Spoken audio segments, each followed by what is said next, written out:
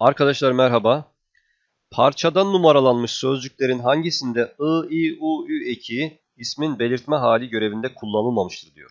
Şimdi bu ek çekim eki olduğunda iyelik eki de olabilir, belirtme hali görevinde de kullanılmış olabilir. Ne yapmamız gerekiyor? Şunu yapalım. Biz cümlede bir fiil ya da fiilimsi yani fiile benzeyen sözcük bulduk. Bu sözcüklere şu sorulardan birini yöneltelim arkadaşlar. Neyi, kimi ya da nereyi sorularından birini yönelttik. Ve baktık ki i ekini almış bir sözcük bu soruların yanıtı oldu. O zaman o sözcükteki i ekine biz ismin belirtme hali eki deriz. Arkadaşlar bir daha söylüyorum. Fiil ya da fiilimsiye neyi, kimin, nereyi sorularından birini sorduk. İ ekini almış sözcük bu soruların cevabı oldu. Buradaki i'ye biz belirtme hali diyoruz. Tabi bu i, i, u, ü eki şeklinde olabilir.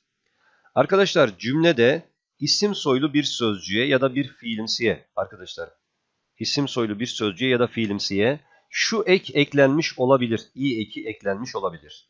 Biz bu sözcüklere şu soruları yönelteceğiz. Neyin, kimin ya da ne sorularını. Şimdi isim soylu bir sözcük veya bir fiilimsi i ekini almış. Kendisinde var bu ek. Ve biz bu sözcüklere neyin, kimin veya ne sorularını sorup cevap alabildik. O zaman buradaki i ekine biz iyelik eki deriz arkadaşlar. Şimdi olay bu. Bu sistemle hareket etmemiz gerekiyor. Bakalım. Metin üretme eylemi hayatını yazmaya adamış sanatçılar için bazı sıkıntıları da beraberinde getirir. Bakalım arkadaşlar. Metin üretme eylemi. Şimdi bu sözcükte bir i var. Ben buna bir soru soruyorum.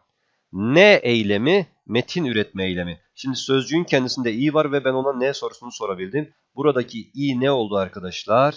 İyelik eki oldu. Yani belirtme hali olmadı. Şimdi cevap bu olacaktır.